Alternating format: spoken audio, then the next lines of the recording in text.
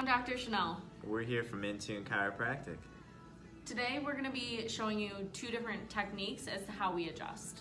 Is adjusting me first, and the way that he adjusts me is different than the way that he will adjust you or anybody else in the office. He's finding the exact spot in my mid back or thoracic spine.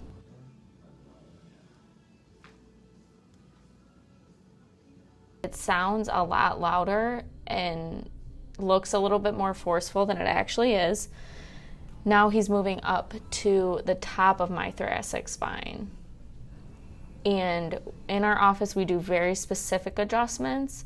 He's now on my low back. I have a lot of issues with my sacrum, so he's going to find that problem and make sure that he adjusts that specific segment in my spine.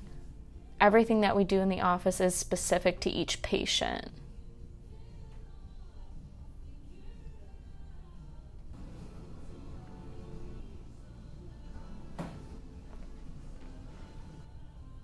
Now I'm going to roll onto my back and he is going to adjust my neck. Now we're not doing a forceful rotation here. We're specifically adjusting the segment that he finds and it's just a slight lateral bend and it doesn't cause any pain to do this. That's it. No crazy rotation, very specific to that one segment on the table because we clean the table in between each patient. Now I'm going to adjust Dr. Al. Um, he has a lot of issues in the lower mid part of his back, so I'm going to adjust um, his thoracic spine a little bit differently. From there, I'm going to adjust the top of the thoracic spine in just a different type of adjustment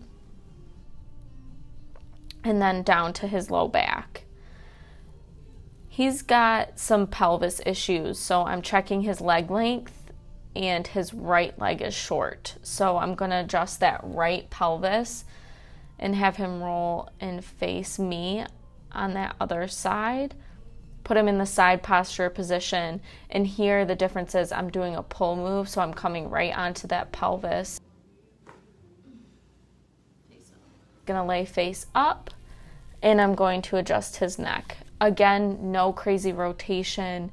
It's just a slight lateral bend and we move that specific bone. I do a little bit of palpating again just to make sure and we get him up safely so it takes pressure off his low back. Thanks for watching guys.